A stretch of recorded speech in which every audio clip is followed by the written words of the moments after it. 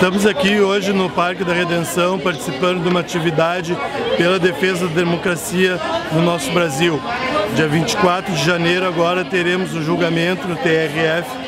do ex-presidente Luiz Inácio Lula Silva e nós estamos uh, na luta e, e, e junto aos companheiros e companheiras